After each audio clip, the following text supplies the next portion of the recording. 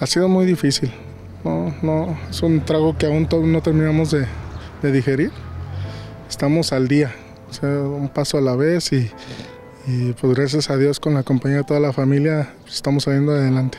Con esas palabras, el señor David Salomón Puertos relata cómo ha sido su andar a un año de que la delincuencia le robó a uno de sus mayores tesoros, a su hijo Eduardo Salomón Puertos Gaitán, a quien de cariño le decían Lalito. Fue el pasado 4 de febrero del año 2022 cuando Lalito de tan solo 16 años de edad cuidaba de sus hermanos pequeños en su casa en el fraccionamiento Hacienda Los Frenos 2 en Tlajumulco de Zúñiga, cuando fue privado de la libertad y luego asesinado.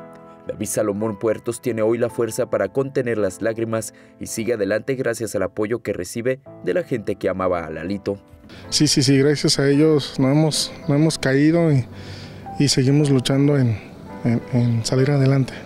No me cansan las palabras de gratitud de tanta gente que ha estado al pendiente, gente que no nos ha conocido y, se preguntan por Lalo, eh, eh, nos preguntan por, sus hermanos y nos preguntan a nosotros en qué nos pueden ayudar. En punto de las 5 de la tarde del pasado sábado, en la capilla Juan Pablo II ubicada en el fraccionamiento donde Lalito vivía, se realizó una misa de aniversario luctuoso donde familiares, amigos y vecinos acudieron para orar por el descanso del menor. Él fue a la primaria junto con mis hijos.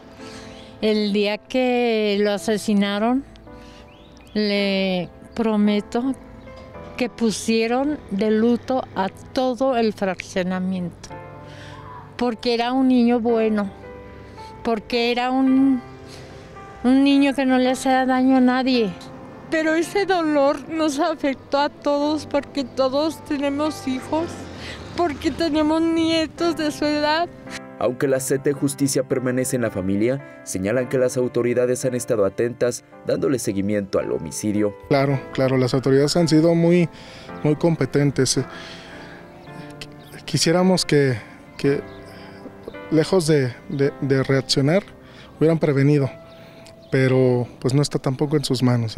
Entonces, ahorita lo que están haciendo las autoridades es eh, respondiendo, están siendo eh, eficaces con la investigación.